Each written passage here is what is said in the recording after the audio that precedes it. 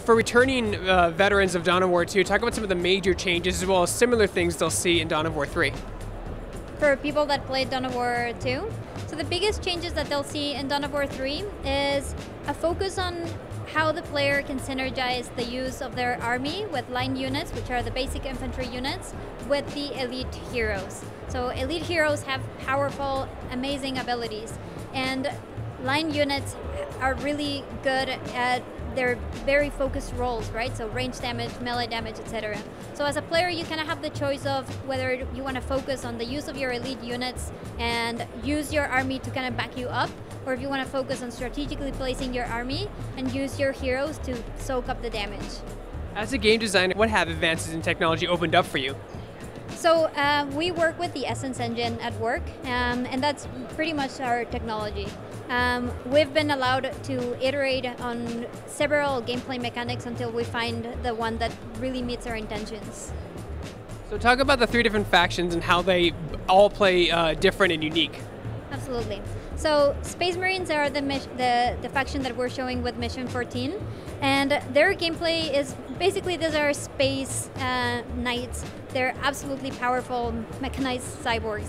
Um, their gameplay is focused on getting units, uh, building strike uh, teams of units that do very good range damage, melee damage, etc., and placing them in the field where they're going to do the most um, for their army. One of the faction mechanics that we're showing in Mission 14 is the drop pods and death, basically death from above. What that allows is basically for the player to be able to put units into drop pods and drop them exactly in the battlefield when they're needed. Yeah, Talk about the Eldar and the Orks and how their playstyles are. Absolutely. So Eldar is a faction that you're fighting against in Mission 14. So we haven't shared too much about them, but what you can know is that they're basically space ninjas. They focus on being stealthy. They have they are very scarce, so they don't want to lose any numbers. They focus on being very strategically placed around the battlefield and do the most damage with very specific counters. Um, Eldar, one of their faction mechanics uh, that you see on Mission 14 is battle focus. They essentially have a, a, shield that protects them.